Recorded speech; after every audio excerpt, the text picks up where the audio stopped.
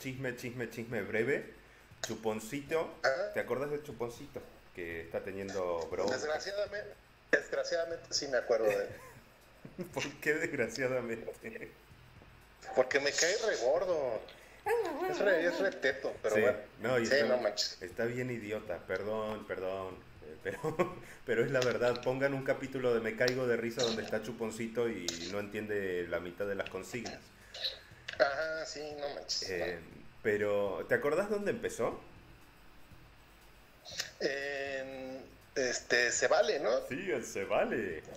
Y nosotros... Bueno, empezó en la calle, según yo, pero se vale le dio la fama. Ajá, eh, pero nosotros conocemos o conocimos, mejor dicho, a uno de los productores, si mal no recuerdo, ¿no? Así es. Adivina qué dijo Chuponcito en entrevista con Jordi Rosado. Que le pagaban una miseria en se vale, supongo. Que el primer año y medio no le pagaban nada. Pues sí. Pues sí. Ah, Me lo puedo imaginar. saludos al productor de Se Vale. Y no le pagaban nada, ¿sabes por qué?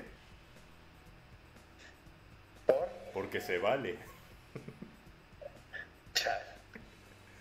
Sí, pero, pero bien idiota Chuponcito como estás diciendo, ¿eh? Porque, porque parece que a la par, mientras estaba Cebale, le ofrecieron de la Jusco, o sea, de TV Azteca, un contrato.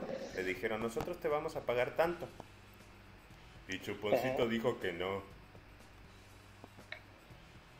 Chinga, ¿por qué?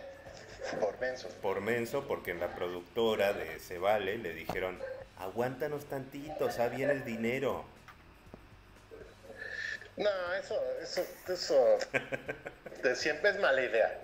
Yo, ¿Cuántas, cuánt- de- en cuántos proyectos hemos estado tú y yo en los que nos han dicho, sí, ahí viene el dinero, ahí viene el dinero? Aguántate.